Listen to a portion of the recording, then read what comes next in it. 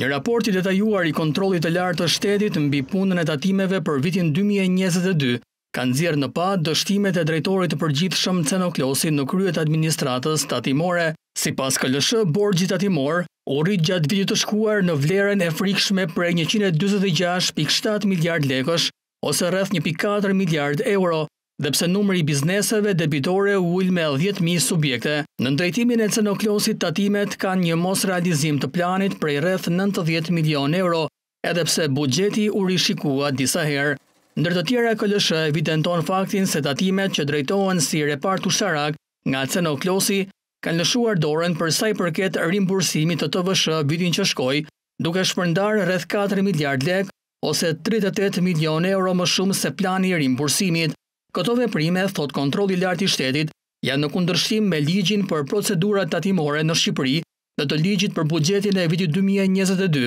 Po te rimbursimi i TVSH, KLSH ka zbuluar se drejtoria e këtij sektori, në varësi direkte të Ceno Klosit, nëpërmjet e-mailit të datës shtatë shkurt dy mijë e njëzet e tre, ka raportuar gjendjen e stokut të rimbursimit në shumën zero lekë në Drejtorinë e Kontabilitetit dhe Statistikës për datën tridhjetë e një dhjetor dy mijë e njëzet e dy, por në të vërtetë audituesit kanë konstatuar se rezultojnë tridhjetë e dy kërkesa për rimbursimin e TVSH-së të pranuara, por të pamiratuara në vlerën totale prej një pikë tetë miliardë lekë të cilat, megjithëse ka kaluar afati maksimal prej gjashtëdhjetë ditëve nga data e paraqitjes së tyre, nuk janë rimbursuar. Nga auditimi konstatohet se realizimi i kontrolleve të planifikuara për vitin dy mijë e njëzet e dy